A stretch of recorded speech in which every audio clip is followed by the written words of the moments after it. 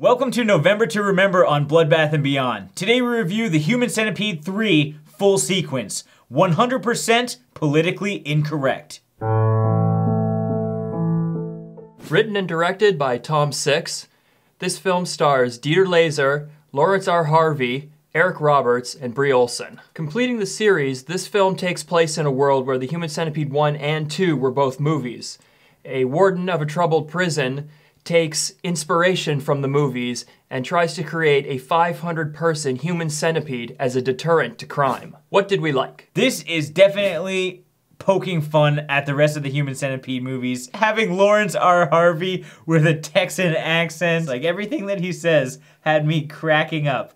And I think this whole movie is just fucking hilarious. We have a gastrointestinal bite ring that holds the mouth open so they can't stop the feces from coming into their system. In the Human Centipede 1, Dieter Laser had flashes of this kind of manic energy. This one, he turned it on at the beginning and that was it. There was no off, but it was great. He was so funny in everything that he did. You barely understood what he was saying half the time, but just his like facial expressions and his like body movement was very hilarious and it just added to his character and added to the satirical nature of the film. It was also nice having Bree Olson in this movie because she is absolutely dynamite and she's in very provocative situations the entire film. Maybe it's it's hot in the desert, so she's got glistening boobs the entire time. We have close-ups of her butt cheeks as she's walking.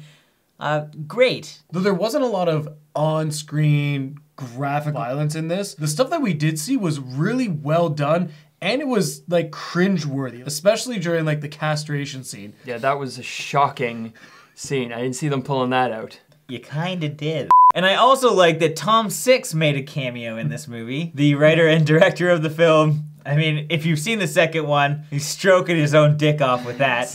so in this one, he had to make had an appearance. it's the only place they could have gone with that. And now, what didn't we like? For a movie where we're used to kind of like shock value, where we want to see the human centipede, we didn't really get to see it till the end, which isn't my dislike.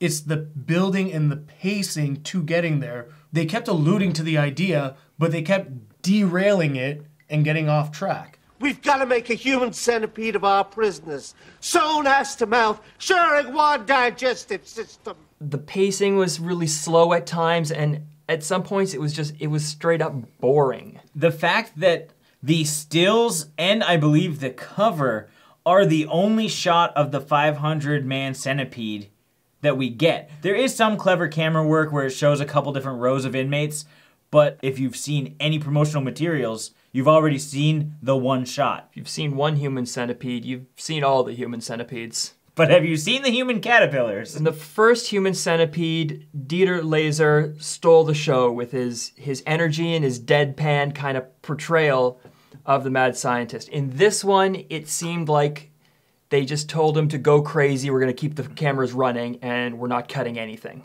It was hilarious, but for the wrong reasons. I know it was a satire, it's poking fun, but it just, it was too much and it was too long. It gets draining. Like, it is funny, but Yeah, just he- chill the fuck out. He is like 80% of this movie.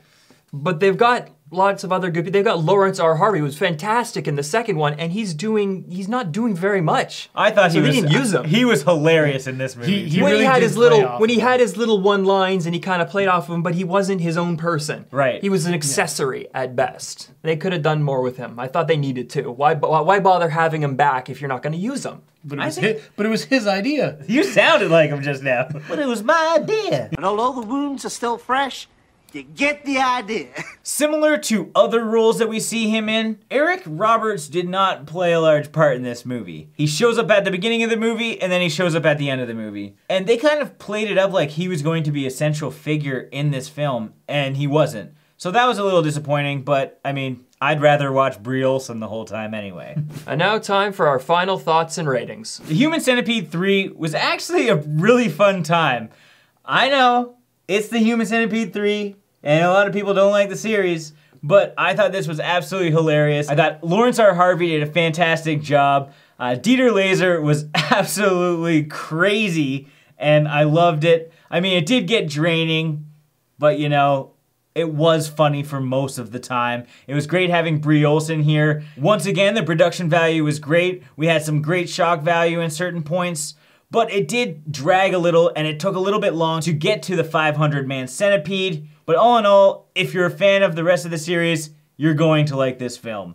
So I'm gonna give this four machine guns and megaphones out of five. I felt that Tom Six did a great job satiring his own series. I was disappointed in the fact that the pacing of the story was way too slow and we didn't really get to see the 500 human centipede until the very end. So it's kind of a letdown in that sense, but First 45 minutes to an hour will have you laughing. And if you're watching with your friends, you're gonna laugh even more. So that being said, I'm gonna give this film three and a half, lighten your cigars like a G out of five. If you're a fan of the first Human Centipede and the second one, you like what Tom Six did with those, then this movie is not really going to satisfy you very much. It's much less a body horror film and more of a pat on the back, look, I can make fun of myself too kind of movie.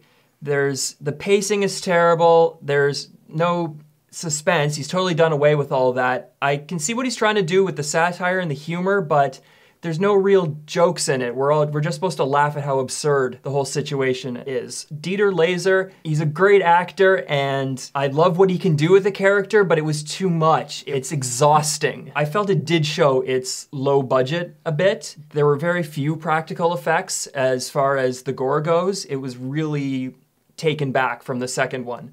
So if that's what you're after, a gorier, longer human centipede, you're gonna get about half that. Anyway, it is Dieter Laser, so I'm not gonna lock it out completely. So that being said, I'm gonna give it two unimpressed doctors out of five. As always, thank you for watching. Like this video and comment below with your thoughts on the film. And if you haven't seen it, there's links in the description and you can check out the full series on Blu-ray from Shout slash Scream Factory and I need to pick it up because I need to see the behind the scenes of this one. And if this is your first time here, make sure you subscribe to the channel to stay updated with our reactions, reviews, and games of What Would You Do?